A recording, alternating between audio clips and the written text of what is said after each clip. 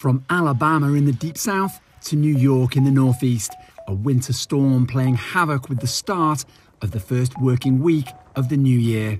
Federal government offices in Washington, D.C. were shut down as the city's mayor declared a snow emergency.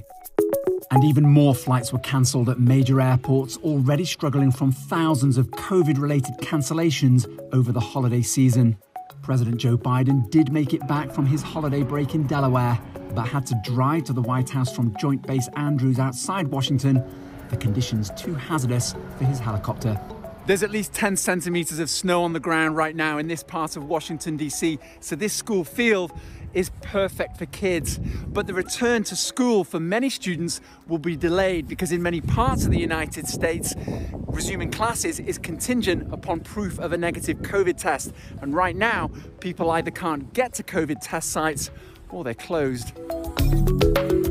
Authorities in Virginia had responded to at least 82 road accidents by 8 a.m. in the Monday morning rush hour, urging motorists to slow down if they must travel. If this storm is problematic on the East Coast, the arrival of snow in Boulder County, Colorado, at least helped put a lid on a devastating urban wildfire. The jarring contrast of burnt out property against a blanket of white, inevitably linked with the impact of climate change.